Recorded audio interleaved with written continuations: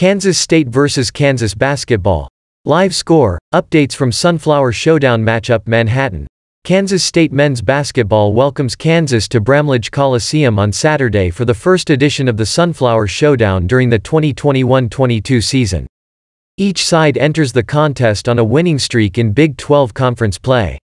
The Wildcats, 10-7, 2-4 in Big 12, are coming in off of a win on the road at Texas. The Jayhawks, 15-2, 4-1 in Big 12, are coming in off of a win on the road at Oklahoma. Will this be the game that Kansas State ends a five-game losing streak against Kansas? Will Kansas, ranked seventh in the nation in the latest coaches poll, continue to cement itself as a national title contender?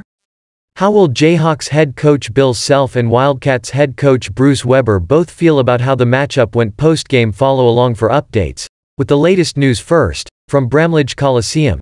Kansas State leads 60-52 with 11.34 left in second half against Kansas. Kansas State made a run to bring its lead back to double digits, and now Kansas has responded and is back within striking distance. The Wildcats aren't hitting shots at nearly the rate they were in the first half, or rebounding effectively either. However, there have been multiple opportunities that have been potentially big offensively for Kansas that Bill Self's squad hasn't capitalized on. Nijel Pack is up to 28 points now, though, for Kansas State. He should eclipse 30 by game's end. Ochai Agbaji leads Kansas with 18 points.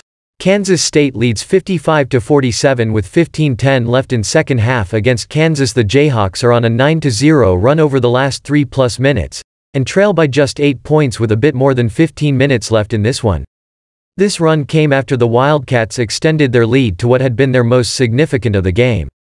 It's something that's taken a blowout game off the table, at least for now, and put a thrilling rivalry matchup back into the picture.